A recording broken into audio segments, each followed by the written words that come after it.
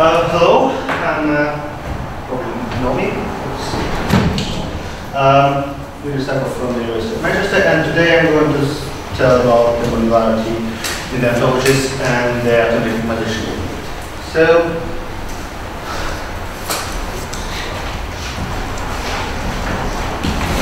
what's the plan for today? it's uh, right. We'll have a look at the uh, set of things for which ontology are used. And uh, we see how the modularity might, might help in these tasks. Then we concentrate on the modules for the reuse of information and show why the modules, how, how we define modules and uh, why is it done this way and how can we actually get modules. Then we'll look at the module structure of the ontology and uh, figure out how all of them can be represented in a nice and short form. Then, if I would have time, I'll speak a bit about the application of atomic decomposition and, well, we'll summarize the thing. right, so if uh, we try to see how the ontology might be used, by by people who, who built it and who use it. So it's here. We want to use ontologies to represent and uh, to, to manage and keep the knowledge of some area in a structured way. We might want to get some inference out of this knowledge and get new facts. Specifically like uh, in classification and query answering, we might want to figure out why this or that inference holds, why, why we get this answer to the query, or why this knowledge is consistent. So we need to uh, a way to understand what's going on inside, and this is uh, for this one we use justifications, which is also one called pinpoint. Uh, yeah, there are plenty of ontologies around and you don't usually want to start building ontologies from scratch. You want to take some other ontologies and combine them knowledge which is uh, kept there together into your ontology and the way how to do a proper reuse these ontologies um, is also part of the things that engineers, ontology engineers.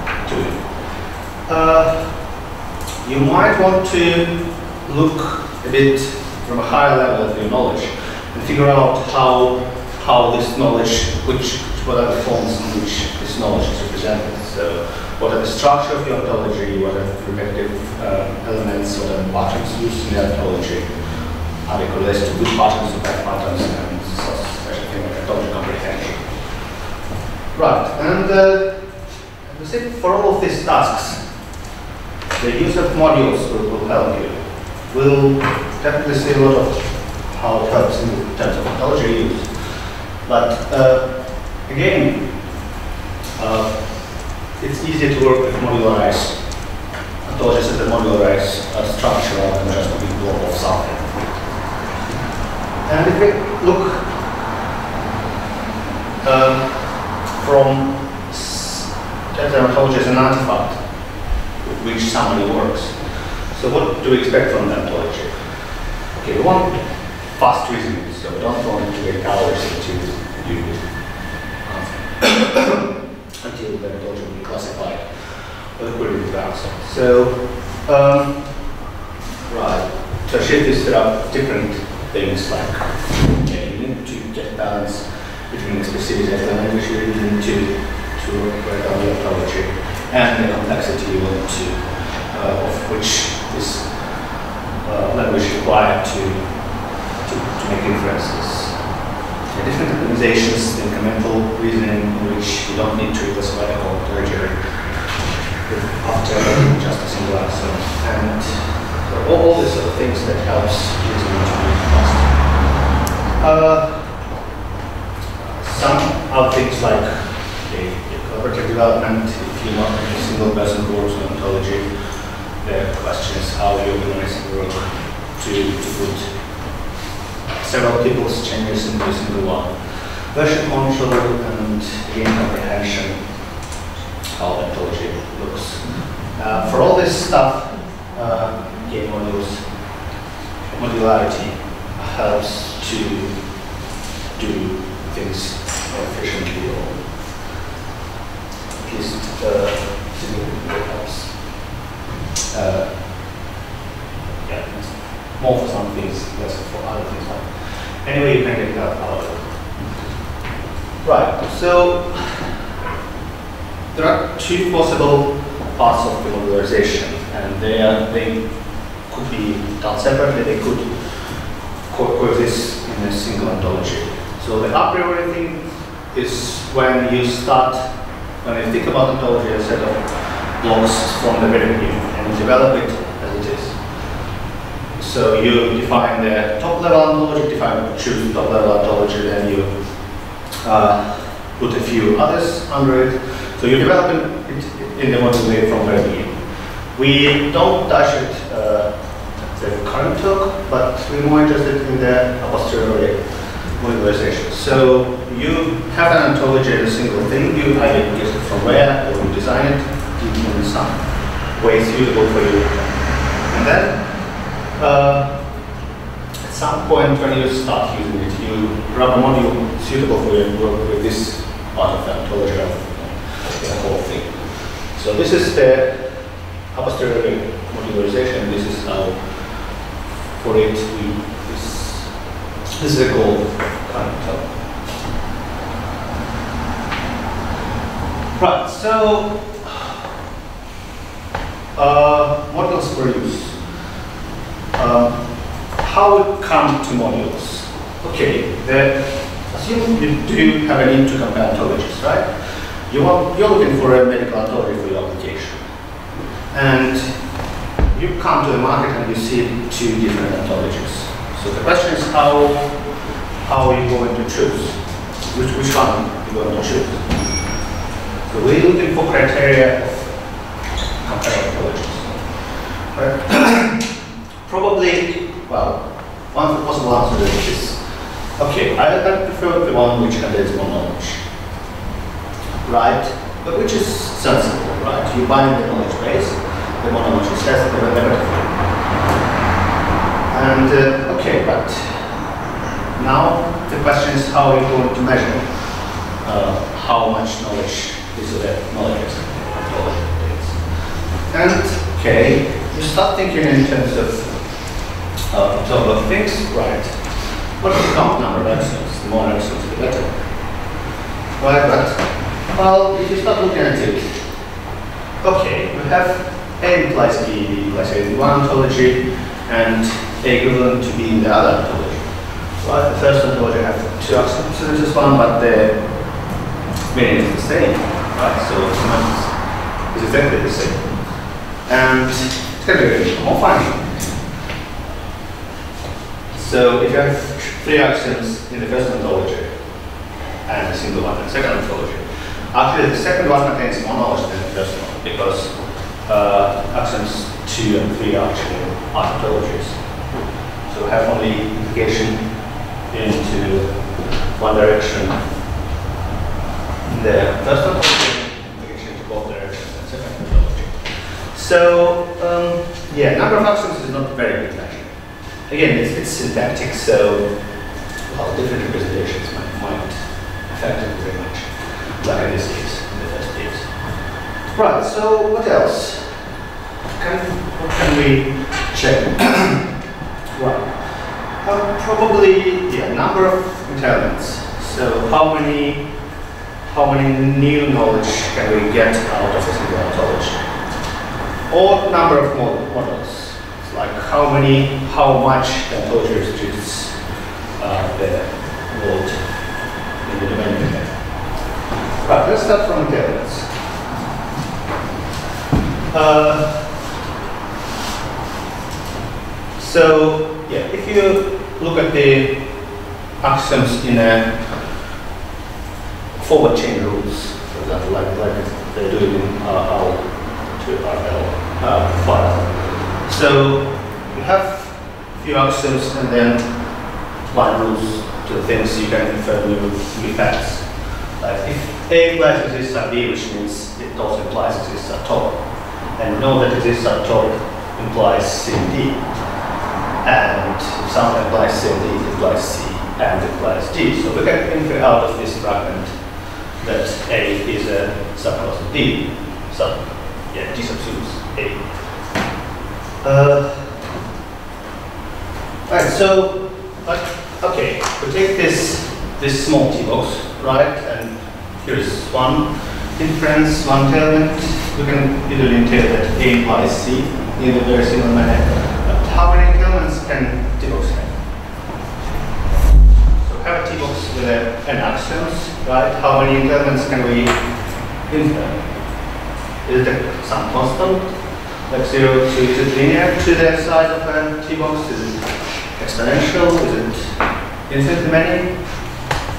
We definitely can infer some, so the 0 is not, not a good answer.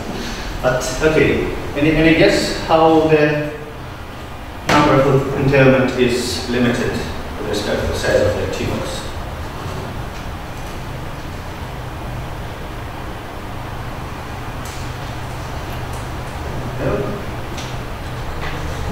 Right, actually it is unlimited.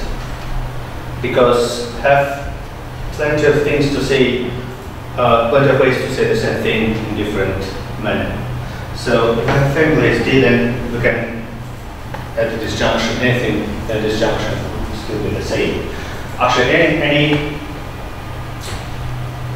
more or less anything which uh, contains A and D in it, infinitely many ways to say the same thing.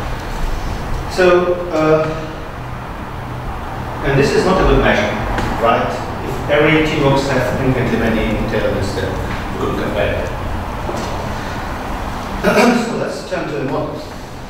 And if we now think of axioms in a tuple based, in tuple uh, way.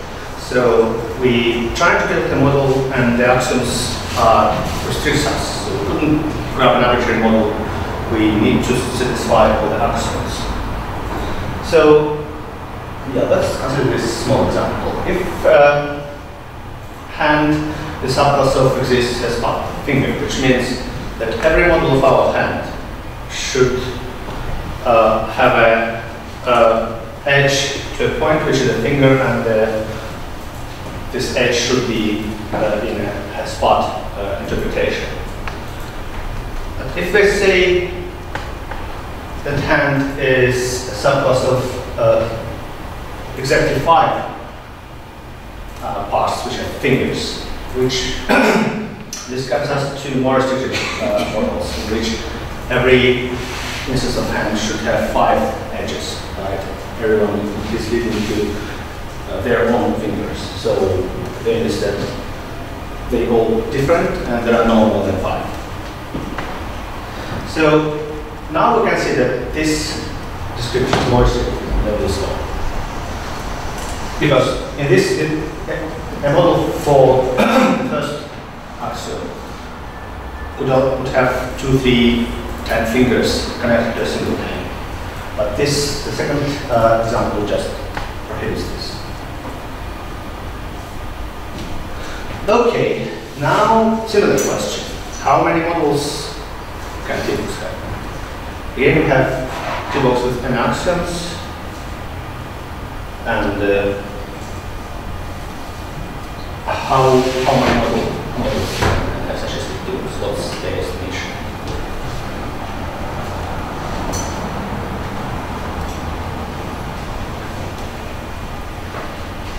So what's the model? Model is a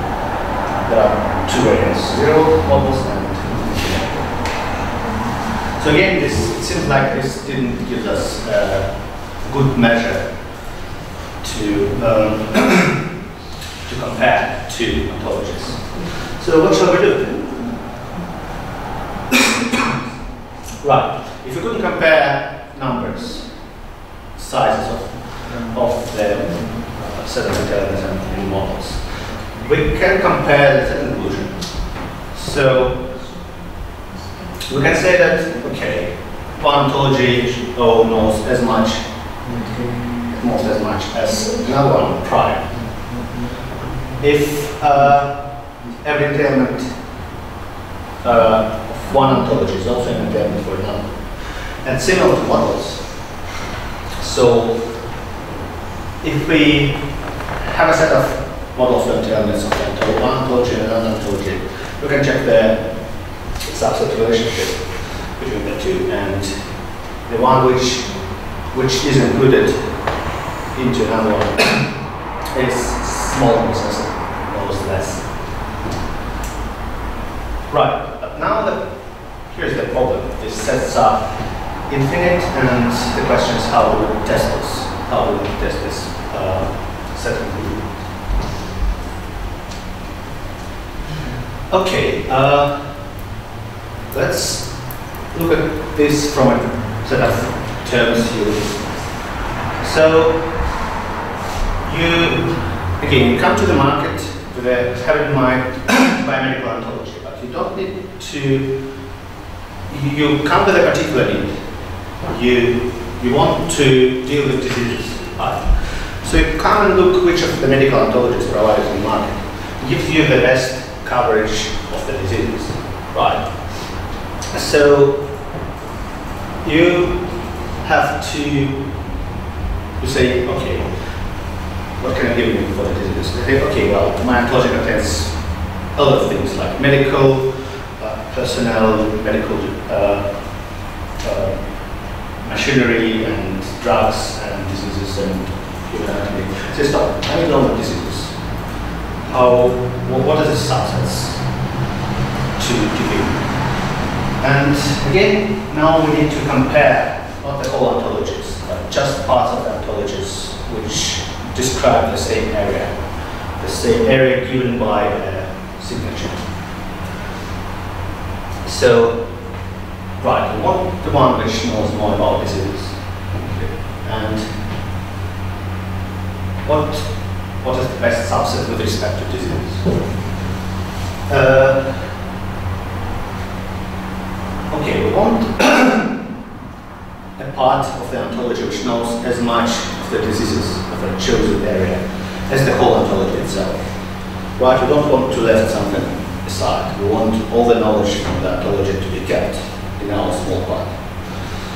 Uh, in other words, the uh, module M is indistinguishable from the whole ontology uh, with respect to all the terms that are relevant to for diseases. So everything I could ask for diseases uh, in the whole ontology, I should be able to ask for the small part of the ontology and get the same answers. And want them to be as small as possible. We don't want to pay extra for something which we don't need.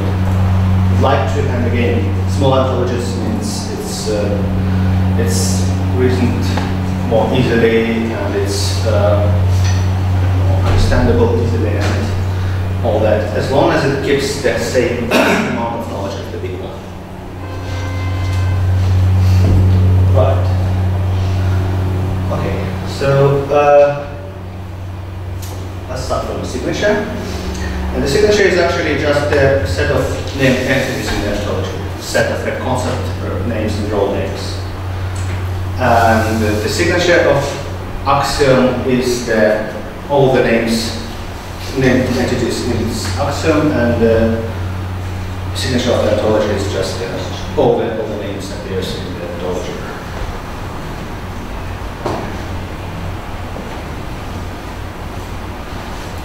Okay, uh, and now to this inseparability thing.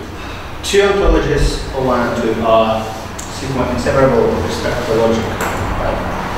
Uh, written this skyway. If uh, for every entailment written in this language, description logic language L, uh, with its signature is in the sigma. We have uh, both ontologies behave the same with respect to this entailment. so if one of them entails other and another one should entail other. And if one doesn't entail other, then another one does. So that's uh, definition from a about Boris. And uh, okay, is it any questions? Comment is fine. So we take two ontologies, right? We don't know about much about them. We pick a signature, a set of terms, and we pick a logic in which we are going to make our queries. And then we say that two ontologies are sigma inseparable if uh, the same entailments, every entailment is written in the given language and in given signature uh, is the same for, for two ontologies. So we couldn't distinguish one of the other. Right. And now the modules having this in mind, the module definition is very simple. Module uh, of the ontology is a subset of ontology, uh, which is inseparable from it with respect to sigma and uh, language. In literature, you can also see names like covers for sigma with respect to L and O is a sigma didactic extension of M with respect to L. So, yeah, well, first name is quite self-explanatory because um, yeah, M covers as much knowledge of sigma with respect to L as, as O.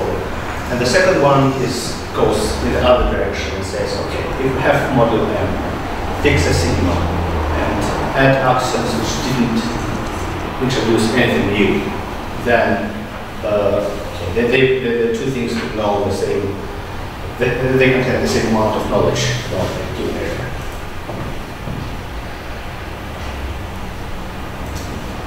Right, uh, some, yeah, how we're going to, what can I say about sigma? We can think about sigma as, as a topic of the, uh, on which we are interested. So if we're looking at the uh,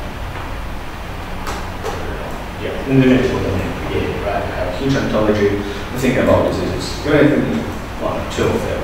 We can think, okay, right, this disease, so let's try to find a disease in ontology. And the model require now to cover all the knowledge written down in this uh, in this signature. So any expression I could build up from the terms of the signature. Uh, this module should, should be able to answer in the same way the whole ontology is.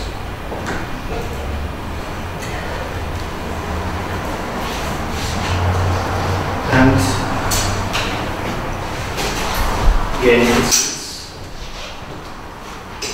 it's quite easy to just say whether it's enough to have a single what, what, what can I say if you have just a single uh, term disease in the, in the signature? How many things can you formulate uh, just a single term.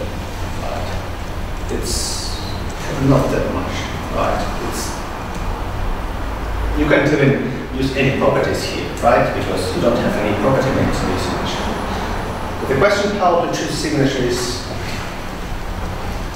not a easy thing. Right, and now how we choose in the language. Again, the languages depends very much on uh, how we want to use your model, right? If you use it to query ontology, right, and choose your query language. If you if you're going to use the module to use in, in, in your ontology, then you want to figure out okay what's what's the language of your ontology because the, when you're going to uh, integrate some foreign module into your ontology, then you're going to use um, the language of your ontology, right? And this, to this language, the uh, module should, should be uh, should be the same determinants. So again, this is depends on the usage scenario rather than uh, anything else. Okay, now to the topic of the uh, part. We want to use modules, so we take the ontology instead of importing all to our ones. We think of how uh, we, we, we set a signature, grab a module, and use this module in our ontology. The question is now, is it fine uh, to, to have just uh, just what we check from the model definition in order to satisfy our needs? Well, not really, because we're going to constrain more the uh, knowledge, the, the axioms which we grab from the foreign ontology. And as long as we're constraining it, we need to have the same the same elements for the as the whole ontology. Here is a formal definition of this. So we need to be sure that whichever axioms we write in our ontology, that uses the foreign one, the results, the elements with the model will be the same as the elements with the whole ontology, right? And independently of, of additional axioms. And is it is it something which we get naturally? Is it something that we expect in any case? What do you think?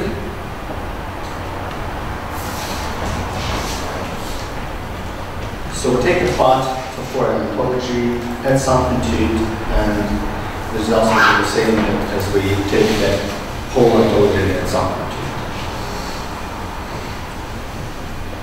it. Given a signature, which we're interested in. Right? What do you think? Is, is it cold? Nothing? Oh. Well, in this case, it's just too strong to be true. And simple example is here. so we have an ontology with two axioms, A implies B and implies B C. And the signature we are interested in is uh, given here in blue. So it's A, R, and C. And we, in the ontology, which in our, own ontology, we have an additional axiom, B implies C, right? So if we look at the original ontology, then the module for this signature, respective language LLC, we, we in this language, is uh, just a second axiom, right? Because first axiom didn't acknowledge about uh, and C. Respective. But when we add in this small addition here, and this axiom which previously was useless and ignored in the ontology starts to play its role because the original ontology with, with this one gives us A implies C, which is determined in terms where, in which we are interested. Right?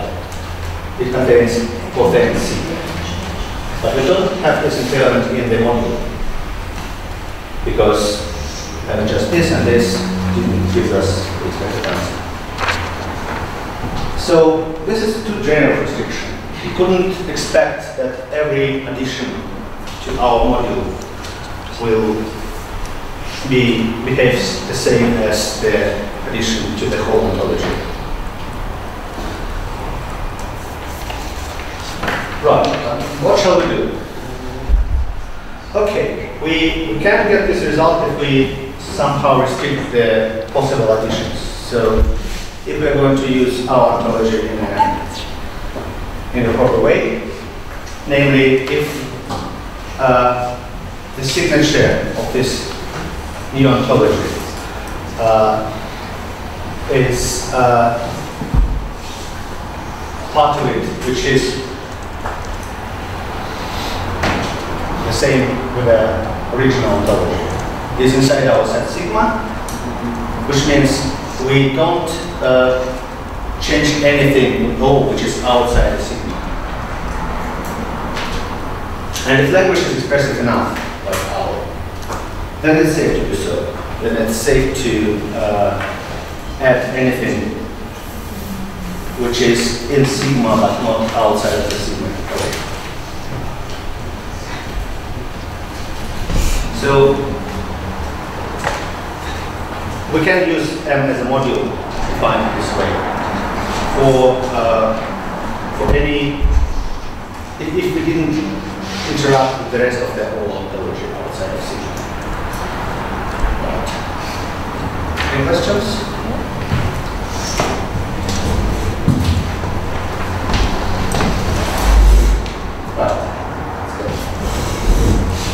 So having this definition how to how to create a module. Right. Okay. Um, let's let's try to do this very simple algorithm. Start from an empty empty set, and uh,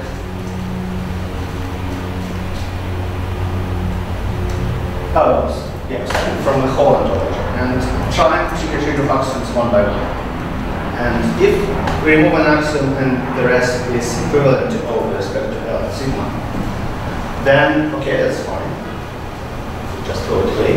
And if nothing else could be taken out from the module without lifting, without losing the inseparability uh, relation, but then okay, we're done. Couldn't get rid of anything else, so just get M as module.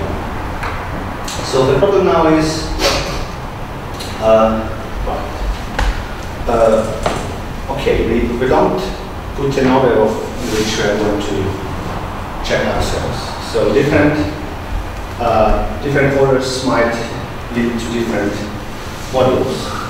So have this quite involved ontology, don't, don't it too precise.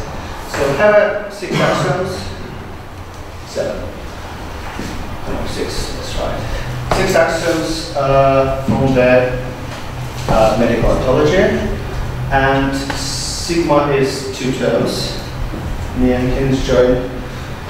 And uh, so we'd like to find a minimal module with respect to assumption of for sigma. And one of them is contains four axioms first one, the last one, the fifth one, and one, two, four, and five. Uh, because okay, go this way.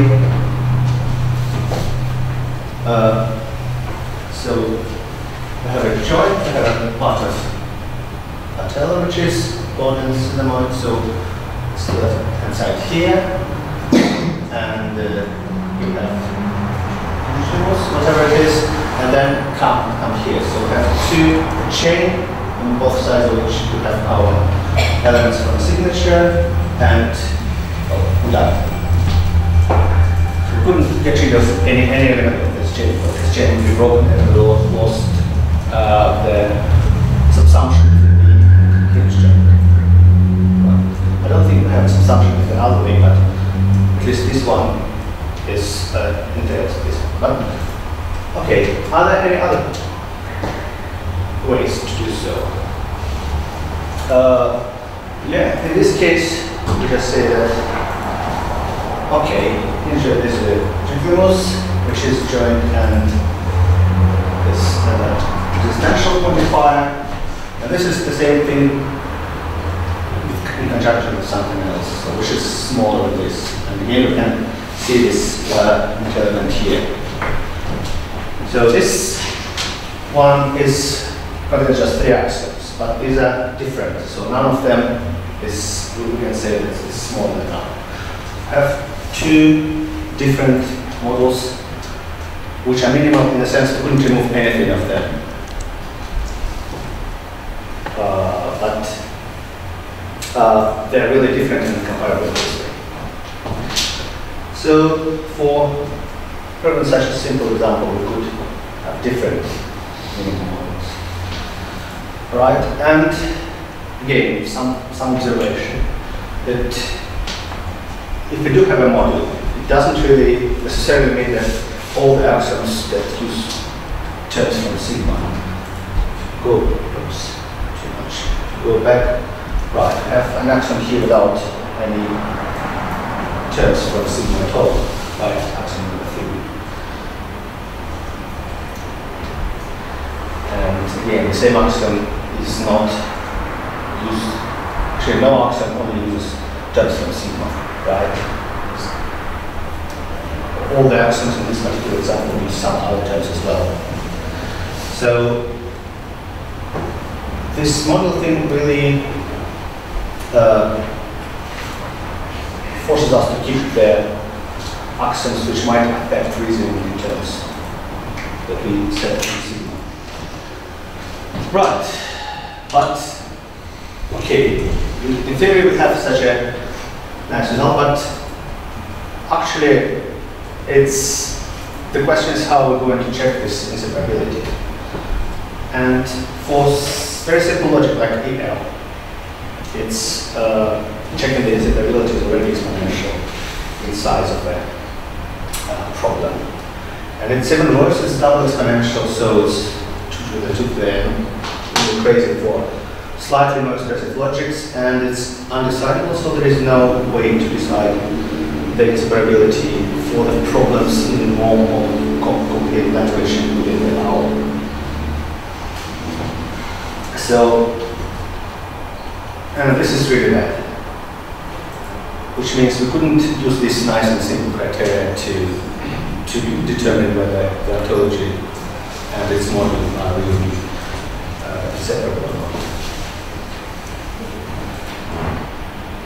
uh, okay, so what shall we do now? There are three options, right? We can give up and say, well, okay, so what shall we do? Let's just do the whole ontology. But it's, it's, I think, it's not an option because ontology grows quick and we just need to deal with more and more complex things. We couldn't really stay without modules.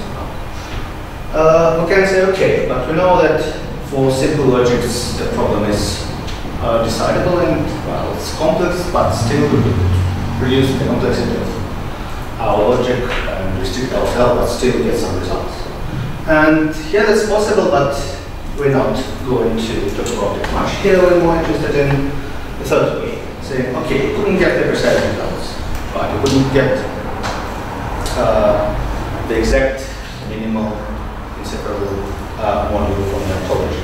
But could we somehow approximate this result? Could we have some thing which would be similar to module, which would be module but not the minimal one?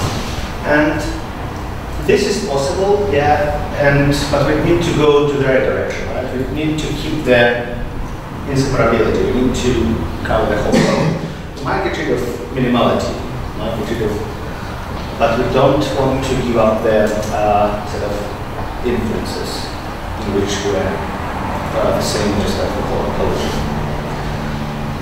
So, uh, coming up the two approximations to, to this inseparability thing, one of which uh, based on semantic locality and on syntactic locality. So what is it all about? I'll skip the proof of how we get to it. But, okay, we have uh, O1 and O2 are sigma inseparable with respect to logic L. If for all entailments written in this language, with a signature in a sigma, uh, they behave, they both ontologies entails or not entails this heat in the same time. And we can achieve this. Uh, this, this is this holds that if uh, if uh, every alpha in a large ontology right, is semantical local with respect to the signature of a sigma and small ontology. So what semantical local means? We take an axiom, we take a signature, and we keep all the elements from the signature, and we replace everything else with a bottom. Which means, okay, we we bother about the signature elements from uh, our sigma, and we need to have a model for them.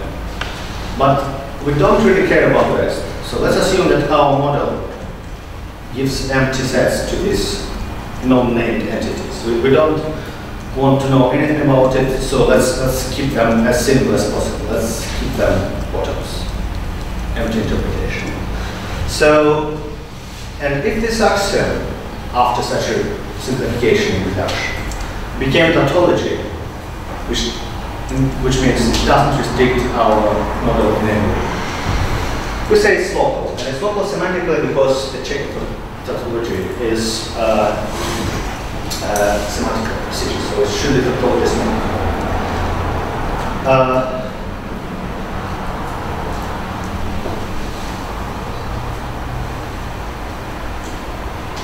right. So, is it clear?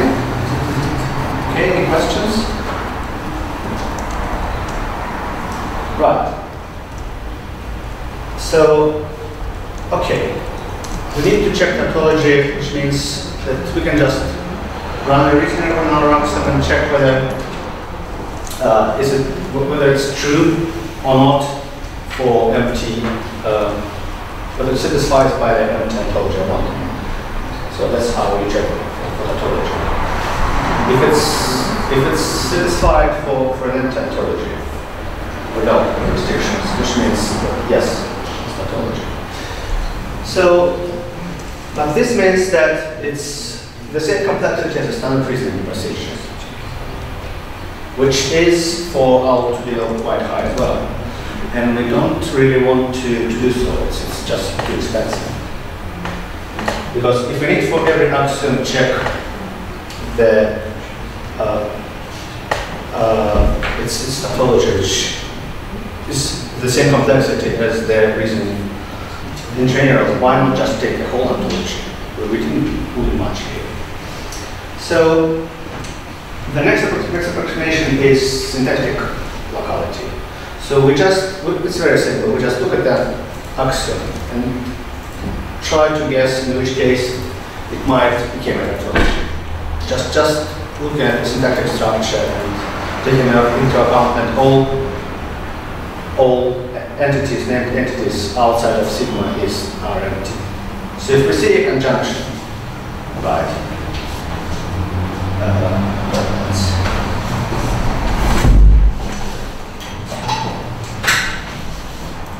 so if we have an axiom like C implies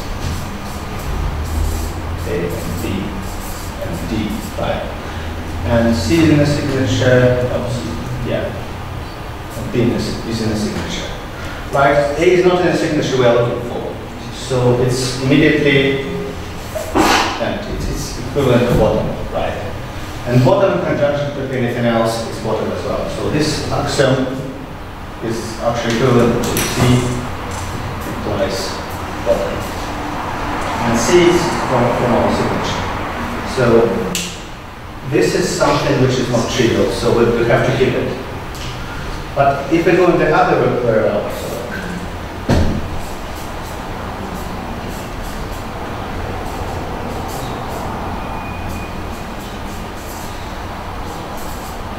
and C is not in symmetry, for example, right? Then it immediately goes down to bottom and bottom implies something is always true, right? So in this case, this is the tautology. So all the syntactical locality algorithm does is just goes into expression and try to see whether after placement of a bottom it's possible to simplify it. And after all the simplifications are done, it checks whether the resulting axiom is not. Like, is it in the form bottom implies something or something implies top?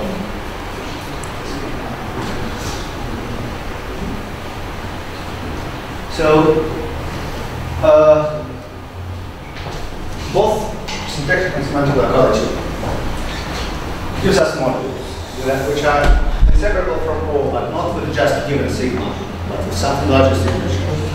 We need to take into account the signature of the module itself. And they are not necessarily minimal. So we might put something in the module which is not which is not required to cover all the uh, all the entailments, but uh, we just couldn't check it. This is a price for our approximation. So, a couple of examples. Questions? Right. Okay. If uh, we have an application like everything there over like over the name is something from signature. So in the first example, if I have something on the left hand side, uh, which is in our signature, then this is not uh, this axiom is not local because we restrict our B, our name B from a signature. It's something I don't know. It might be bottom, it might not be bottom, it might be well. If it's not top, it's something, then we have to restrict our models uh, of B. And this means that it's not local. Okay, let's look at, the, at this example number two. So A implies B and exists as C. And both B and C are in our signature. But here we have thing that R is not in signature, right? So let's say we have to have bottom interpretation, which means there are no two points in our model that are connected by R. Which means this existential restriction couldn't be satisfied, right? We just couldn't find another point in our model, which is R related to the Slavic code. So this exists RC expression is again bottom. And then bottom and something else is bottom. So we come to the point A implies bottom. Right. Oh, yeah, that, that's a simple, simple, right? So this is bottom, but A is not in the signature, right? So A is bottom well. So the whole axiom collapses into bottom implies bottom, which is true. So this, which is tautology, right? So it's it's local. Uh, again, to generalize this one, this case, if we have a name on the left-hand side with conjunction to anything, uh, which is not uh, in a signature, then it's local, again, for the same reason. A is bottom, conjunction is bottom, bottom implies something if all is true.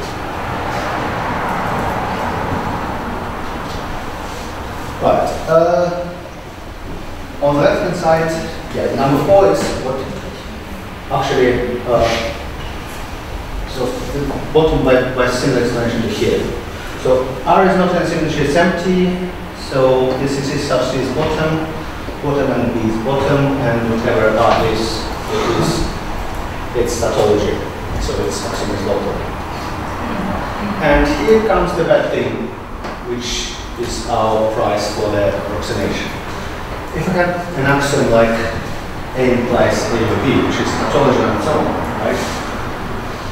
Uh, but uh, it's not local in case for A and B in a signature. Because we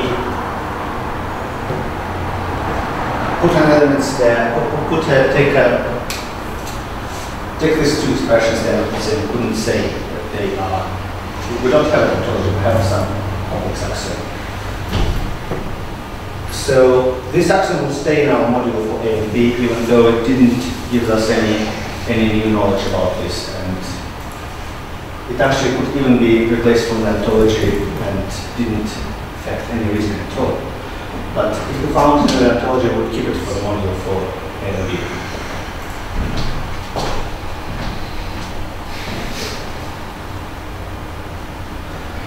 So how are we going to extract module now? Right, we start from a, an empty module and try to check the axioms with respect to signature sigma and signature of the module for locality. And if we find some non-local axiom in the ontology, then just add it to the module. So, and we do so until well, as long as the module will grow, this uh, signature might grow as well, of course, in most cases.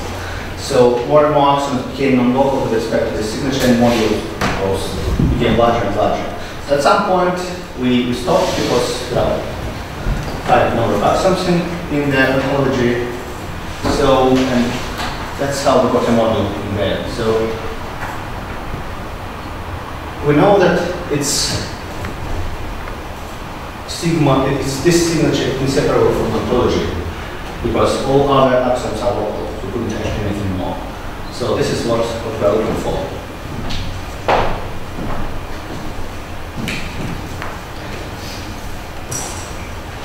Right. Um, some relations to this uh, approach of getting modules. So when we replace every element not in a signature with bottom. Uh, this, so such modules are called bottom modules. There is a dual way. You can replace the elements not in signature with the top, given the same okay. For the elements we don't care, um, the interpretation would be uh, just the whole domain. And in this case, uh, we call the modules top modules. And usually bottom modules are much smaller than top modules.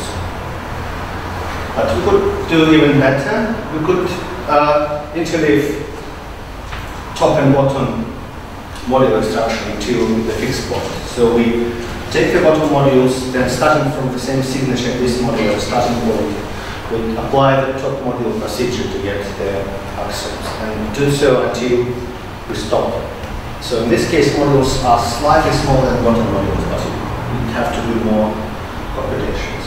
And this type of modules is called top-bottom star modules or just star modules. right. So the atomic decomposition thing. Right, so we learn how to take the grab a module for this given, signature. And if you think about it, that you'll see that ontology can contain exponentially many modules. Actually, you don't know upfront that every subset of the ontology will be a module potentially. And there are exponentially many subsets of, of axioms in the ontology. Uh, another thing is that modules are monotonic. Right? If some signature is a subset of another one, then module taken uh, by any algorithm from an ontology for this signature is uh, included in the model module taken for the larger signature. And again, it's, it's quite obvious. The more we want to know, the, the less and less things we could put down to bottoms. So the more axioms in general would be uh, necessary for us to thing. So some modules uh, in the ontology are included in ours. Do we have anything else? How, how modules are related to each other? Okay, if we look at the union of modules, we would call module a fake if, if it's could be represented as a union of, of two comparable modules. So if I have two modules, none of which is included into the other, and the union is module itself, it's not necessarily true, it's not always true. But if union of two modules gives us a module as well, we call this module fake because it contains some knowledge from different domains. So it's module in the sense that there is a signature sigma for which it represents the whole ontology in the best way. But if you look at its structure, it consists, consists of a couple of independent modules. And so, I don't know what, what was the reason to choose the word fake. We have probably explained better. Uh, the thing is, is that the, the, the idea behind the so-called fake module is that it doesn't capture anything inherently related between them. They're just two things that happen. You can take any two, roughly speaking. You take two modules and you slap them together, the right other conditions hold. If there's no interaction between the two parts, right, then the fact that this is a module is kind of uninteresting, right? It's not, it's not a fundamental building block. It's just it's just something that happened to get slapped together. Um, that's the reason why right. And, there, and, and there's, there's going to be way more of these than there are the sort of genuine modules because you can just slap all sorts of ones together. And so you spend all your time looking through these other ones and they don't tell you a whole lot. In fact, they're quite misleading as well. Okay, okay, thanks for explanation to the names. So, hmm, yeah, as John already said, the module which is decomposable in such a thing the building block for our modules in the ontology. These are called a genuine module. And if you have a look, there is not. Yeah, well, first of all, any module is a union of one or more genuine modules, right? Because if you can decompose it, if it's fake, you can separate two things, and these are building blocks for modules actually. Large building blocks because they can intersect. And yeah, there's a theorem saying that every genuine module is a module for a signature of an axiom in the ontology. So if you take an, an axiom and build a module, take an axiom, get a signature of this axiom, and, and build a module using one of our methods uh, for, for this signature. then the module will have result will be genuine. It's not a union of anything. Right. So, which means that I have much smaller modules, genuine modules than all modules. So every genuine module is uh, corresponds to an axiom. Probably a few axioms could, could be in the same module. So not more than the number of genuine models is not larger than the size of the ontology. So, and we could actually look at how this genuine model is organized. And uh, then, thanks to Chiara, we got nice animation option to show you.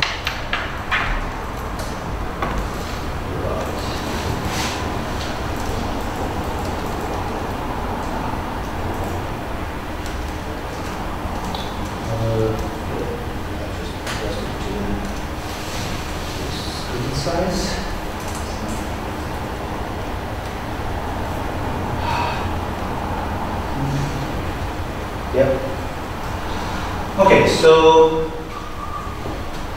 let us say we have axioms of a small ontology about wiggles, right? And it says that, okay, wiggles carry something. It's all written in Manchester syntax. You're probably familiar with it after your protege and so on. So, wiggles carries something, what is a wickle?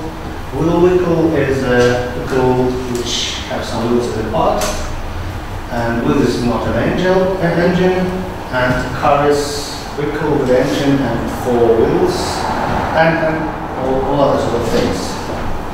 So what we're going to do is we get an axiom, take a signature and try to do the module. And for the first axiom, the module for the signature is just an axiom on its own. So it's just a single term. Uh, the second one involves uh, the on its own and the first one, which is easy to see, right? So we have water and which are not uh, in the signature. So this axiom definitely goes into the module. But then wickle is not empty, right? It's it's uh, thing in a signature and we have something non-empty on the left hand side and something empty on the right hand side. So this axiom is not local, and we have to put it into the into the model. And the rest is fine because well, we don't have Wickle on the left hand side anymore, and so everything else for, for everything else left hand side could be is just uh, bottom, so all of them are local. Then, okay, this one again, okay, it's will Wickle, Wickle, spot will, right? So we have Wickle here, we need to put A1. But for example, for here, both is not in the signature, so it's have a form bottom implies something, and it's local, and the rest is local for the same reason. Right, let's go. Here's something interesting. Have car wheel and engine, right? Then have engine is not empty, so all this this axiom goes in. Then uh, uh, what else? Yeah, here's car wheel on the left hand side. So it's non-local. This is non-local as well, and uh, and that's it. Actually, for for this example, we only have to look at the left hand side and see whether it's transitive signature or not. So we continue doing this quite a big module. Of course, the car is uh, on the left hand side of justice, but still have wheels straight away, have engine, we have vehicles, so we put quite a number of them. And here's an interesting one. So this axiom is exactly the same model as the uh, so two axioms corresponds to the same model. And yeah, this is a small one, just a simple axiom. So we do all the modules for all the axioms, right? And they induce some structure. Right. We call see some of the atoms are participating in many modules, some some some some of the atoms participating in very few modules, like this in, in one module. But there are axioms that come together. So the atom is a maximal set of axioms that never split across two modules. Like these three. They sit in the same module altogether. It's module for this one and, and the big one. And they don't participate altogether in any other modules. So atom, this this set called atom because it's the smallest building block of the for the modules in the ontology. Right? It's, it might not be a module on its own, but it's, it's a building block for modules. Let's put it this way. For given ontology, we couldn't distribute these axioms in terms of participation in module. And having these atoms around, we determine them by comparing modules for axioms. We can put dependencies between them. And dependency means that an atom depends on another one. If whenever this atom appears in the module, this atom appears in this module as well. So if you go back, right, this atom appears in, in just one molecule, together with it, alpha six, 4, 6, 7, 8, and 1 appears as well. So atom alpha 5 depends on all. Right, and this event is definitely trunk. So this structure is called uh, an atomic decomposition model. Yeah. Now back to the presentation.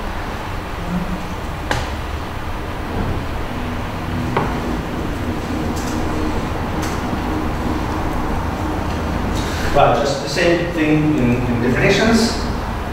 So every genuine, every, every module itself, including genuine ones, is a set of atoms, right? And the number of atoms is bounded by the number of genuine modules, so it's not more than a side of ontology, right? Uh, uh, what are the relations between atoms? Atom depend A depend on atom B if every model that contains an atom A contains also B. So these atoms forms a dependency graph. And every atom with all the dependencies uh, forms a chain. Right? It's, it's quite easy to see. Remember that module is something uh, which starts from an axiom, goes, uh, takes uh, module is a module for atoms, axiom signature. Every atom is in the atom, so if you take the atom for the uh, for a given axial, it would contain contain in, in, its, in its genuine module. But also know that all the dependent atoms are in the same module as well. So all the atoms dependent uh, that A depends on will be in the same module. So they all atoms forms their module for this atom, so it's general. And all this structure is called decomposition. So, to summarize this, there are huge amount of modules in the ontology, right? Exponentially many in general case. But most of them are fake. They can be viewed as a union of one or more uh, genuine modules. And genuine modules can intersect each other, and this intersection is always a module as well. So we can split the set of genuine modules into the axioms which appears in, this, in every model They either all together or they're not, none of them is in the module. So this smallest building blocks called atoms. And these atoms have dependencies which are useful to find, uh, which provides a way to build a model. So this structure is called atomic decomposition. And right, what is it useful? How can we use atomic decomposition? So if every module is there, there, we can quickly build new modules out of having this small structure. So if we have a proper labeling composition, what is the signature that leads us to, to this module? Uh, we can quickly build modules out of the, these small bricks together. So if we, you come to the ontology with a signature and try to ask for a model for this signature. In general case, you need to do the long procedure of checking every axiom full quality, and it's quadratic uh, size of the population. Which is not too bad, but still with atomic decomposition in hands, you can do that, you can just map your signature into the labels of the uh, atoms and ground atoms, grab all the dependent atoms and get one straight away. So, what are the other uses of the atomic decomposition? And modularity in general? Right. Uh, so, if actually, as, as we saw at the beginning, modularity is applicable to more or less every aspect of user ontology. And uh, the rule of the thumb is uh, if you want to reduce the search space, if you need to, to, to search through the ontologies in some way, uh, then use modularity to reduce the search space while keeping the correctness of the result.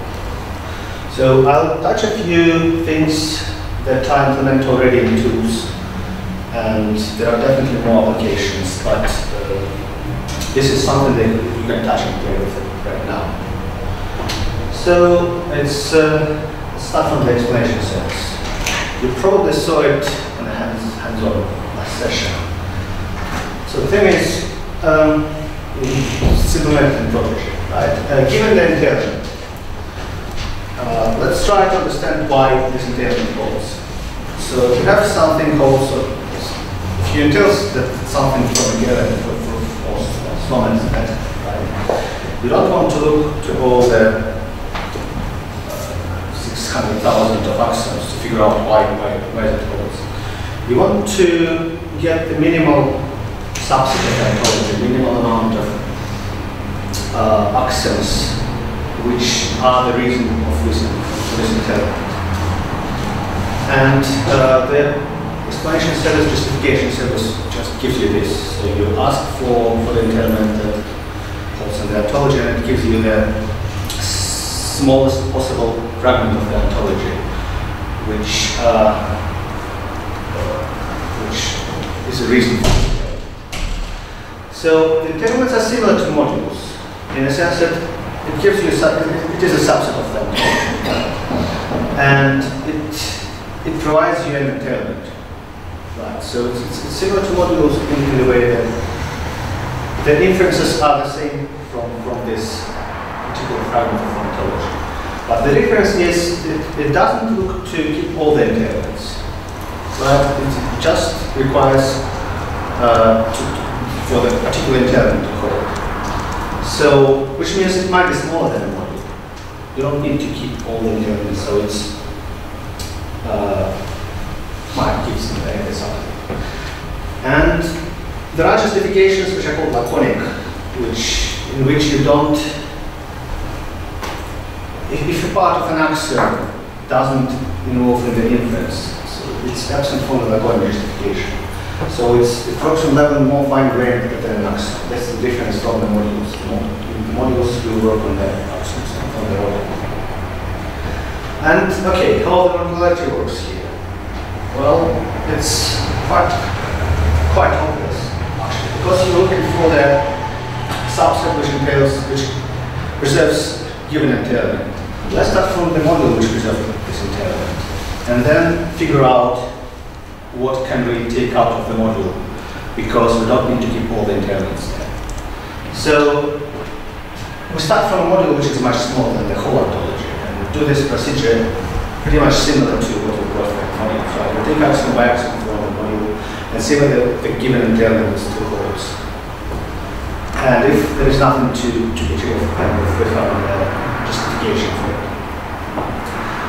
Right, so here is how the modularity helps in the explanation. Uh, now let's again probably a bit uh, complicated, but uh, still, okay, reasoning. When you push a classify button, the uh, listener behind the scene protege compiles the hierarchy of classes and gives it to you. Then you change, uh, add a new axiom into the ontology, right? And push a classify button again. And in traditional reasoners, all the results, all the classified things is thrown away and the classification goes again. Which is uh, a bit painful because you just change something small but need to put a, lot of efforts in order to get the results back. So is it possible somehow to, well, to, to detect how, which area this change affects and then reclassify with this small area? And well, yes, it's actually possible, and modules helps here.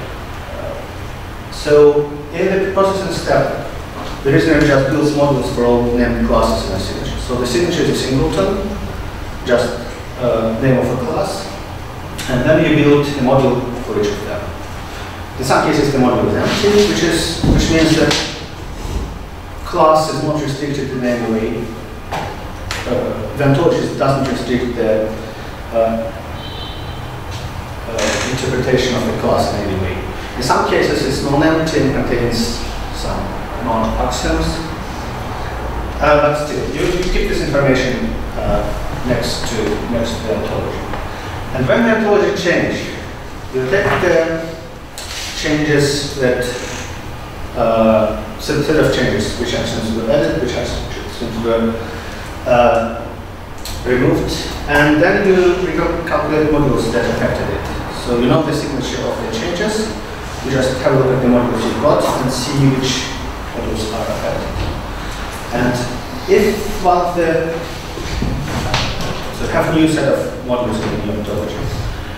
And then for every subsumption which involves uh, an element from a signature of the affected module, which means that it might be changed. Check this assumption on a new ontology, not for the whole ontology, but for, for a given model, which falls. So it's all sound quite complicated and uh, it's, it's really not very simple, but at least it's, it's possible to do and if you've done so, it really helps to work with a, an uh, environment in which you work as an ontology engineer. Like you do some change, you classify, you do some change, you classify. And this, this pattern of ontology usage really uh, affected by this. You do anything. And yeah, both Peloton and Sela are available as a community plugin. So you can try them and try to check the difference on some large ontology with a couple of changes, how the performance is affected. Especially if change completely like you add new subsumption C with no names being set here in the ontology. It's really uh, very nice um, illustration to the principle of uh, okay, modular reasoning in general. Right, there are two examples of this, and one of them is very recent work. Uh, I think it's, it's presented in this year uh, the DL workshop, and it's going to be presented this week as well. Um, it's uh, the model reasoner which is uh, done in Oxford. So it works on a simple observation, right? Uh, if you look at the ontology, it's mostly quite simple, right? I think uh, it's something at least 40% of the axioms in the ontology are just trivial subsumption between the classes, like A implies B. And if it's slightly more complicated, still it might fall into the EL uh, uh, profile the L. And we know that for EL there are tractable reasoners which can uh, classify the whole ontology like this. But we couldn't use it for few uh, axioms which are outside of an EL fragment. So this is determined. So the idea of the more reasoning is to to separate these two things. So let's take all the axioms which are outside the, deal, uh, the LEL fragment. Build a module for them, which covers all the information about the axioms which are not in the EL. Take these axioms out, which are hopefully not too much, and fit it to the general LDL reasoner, which is HermiT in this case. And after HermiT classifies this part, it takes the taxonomy of classes. So just primitive subsumptions like A implies B, without even trying to, to glory. Put it back to the original ontologies instead of these complex, complex axioms. And fit this EL, complete EL ontology to the ELK, which classifies it very, very quickly. And the result of the classification of this merged ontology is exactly as a result of the classification of the original one. So, but the benefit is that we need to classify complex part, uh, the, the part which is need to be classified for the LDL reader is usually much smaller than the original ontology. And the overhead is not that big. But the problem here is that this method works only for uh, classifications. We couldn't do get arbitrary uh, intelligence using this way of reasoning. And here models, modules are used to ensure the correctness of classification. So we take, uh, we use enough information to get all the assumptions in the fragment we took away properly. We didn't lose any, any of the uh, assumptions, we didn't introduce any, any new unwanted. That's why modules are, that's how modules the correctness.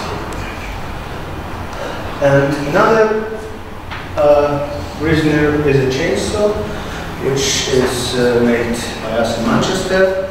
And this is a different approach, so it's completely modular one. Uh, it starts from building an atomic decomposition for the whole ontology and use it for the fast module creation, extraction of the thing. And for every query we are going to ask, it creates uh, a module using this atomic decomposition and put this module to a delegate reasoner and then let this reasoner ask the query. And again, there are different modules, so they, they, we put them into different reasoners and keep a cache of 100 reasoners time to, to deal with queries that come to us. And uh, some very little details. Uh, use um, modules revealed on the fly for the quiz. So if you want to know accessibility of the concept or whether this action is covered by the ontology or something similar, you just take a, take a query, get a signature, build a module, look into the cache, and either give it to the reason or create a new module. Uh, it's a bit more complicated for the hierarchy queries because we don't know upfront the signature of the answer, right? If you ask, give me all the super um, concepts of this one, you don't know what, what is the signature of the answer, where to look at. But the good thing about this, uh, about the modules is that it's again, having an atomic decomposition is possible to label it in a way that just do a single lookup of the atomic decomposition and you know exactly the module in which you are going to look for the superclass. So we use this to to answer to to, build, to classify the thing. Actually. And again, caching really helps uh, here. So this is done because there are huge ontologies which we need to. Well, the reason I didn't be able to deal with them in a given memory limits, but after the splitting the ontology into modules and doing one by one uh, really uh, allows us to uh, deal with the ontology. Again, there are plenty of optimizations we plan to do, but right now it's just a prototype, but still we're working on it quite hard. But another thing which in Manchester, that, is a uh, uh, semantic diff and some other different things. So if I have two similar ontologies, right, or two versions of the same ontology, we'd like to know what are the differences between the two, right? So how we can define set of differences on, on the axiom level, right? And for this, we use a model extraction to figure out the effective term. And then we classify those differences on a semantic level. Like, okay, is it gives us new entailments or, reduce the number of entailments we've got or something else. Uh, and to figure it out which which type uh, this changes, how this changes affect thing, we use justifications. And for this, again, modularity is used. And it does quite a number of nice things and if you have a look into our, our page, check it. Then free to, to try it. Right, so finally, there. Um, what did we learn now? So, uh, the notion of principality in the ontologies, right, and coverage in the sense that we know the particular area of knowledge which is presented in ontology. Uh, is a guarantee, gives us guarantee which is relevant for the use of ontologies, but not only for this, to something else as well. Something which involves entailments. And uh, okay, we learned that the exactly exact principality thing is possible for simple logic, but quite expensive for them as well. And for more complex logics like OWL2, it can be approximated via a locality. Semantic locality involves reasoners, reasoning, but syntactic locality is approximation of an approximation. Doesn't involve a completely syntactic um, procedure, polynomial the side of ontology. And uh, these models can be uh, effectively extracted again polynomial complexity uh, out of the OWL ontologies. And actually, well, comparing the syntactic and semantic locality things, we did some experiments very recently and presented them this year and going to write a paper later this year. Uh, we tried to implement semantic locality. I think it's the first implementation of semantic locality ever. Uh, in fact, and compare the results of model extraction on a set of hundreds of ontologies. And only very few of them, like six or seven differs. And this differs mainly, well, there are two reasons. One is because there are tautologies in the, in the ontologies which uh, are in a form where syntactic locality couldn't uh, check it, but semantic locality grabs it. And another is quite complex uh, interaction between different constructors with the same expression, which uh, syntactically is non-trivial, so it's kept, but semantically it's equivalent to bottom.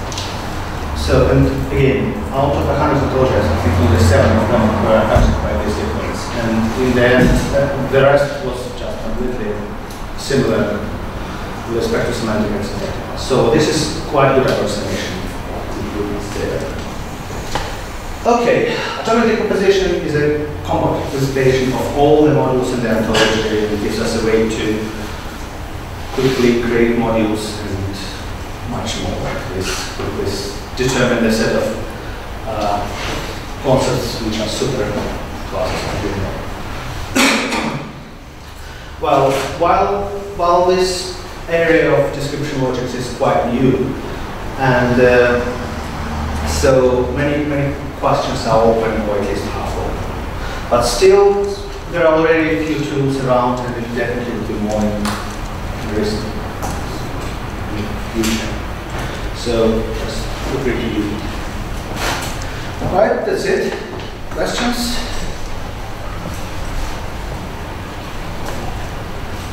Okay then.